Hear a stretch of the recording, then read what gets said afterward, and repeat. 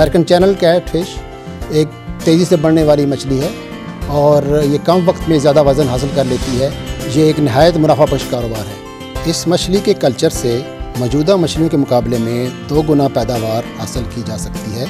American channel catfish को 2003 में Thailand से पाकिस्तान मुतारफ़ कराया गया। ये कामयाबी से थाईलैंड से एक्वाकल्चर एंड फिशरीज़ प्रोग्राम एन इस्लामाबाद मुंतकिल की गई और तालाबों में कामयाबी से कल्चर की गई। इस पर तहकीक करके इसकी फ़ीड और ब्रीडिंग पर अबूर हासिल किया गया। ये मछली एक साल में 1200 ग्राम वज़न हासिल कर लेती है और सालाना पैदावार 3000 किलोग्राम देती है।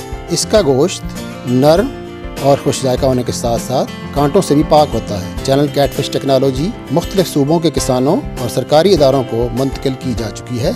चैनल कैटफिश हर तरह के मौसमी असरात माँ सवाए खारे पानी के बर्दाश्त करने की सलाहियत रखती है।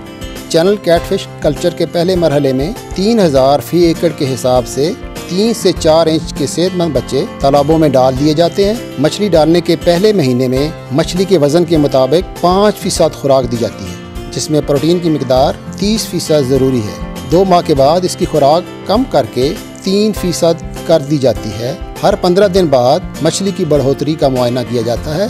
इस अमल को नौ माह तक दोहराया जाता है। इसके बाद अब मछली बाज़ार में बेचने के काबल होती है और मछली का वज़न एक किलोग्राम या इससे ज़्यादा होता है। American channel cat fish culture के ज़रिए हम फ़ी एकड़ तीन हज़ार किलोग्राम मछली की पैदावार हासिल कर सकते हैं और नौ माह के कलील अरसे में साढ़े सात लाख रुपया मुनाफा कमा सकते हैं।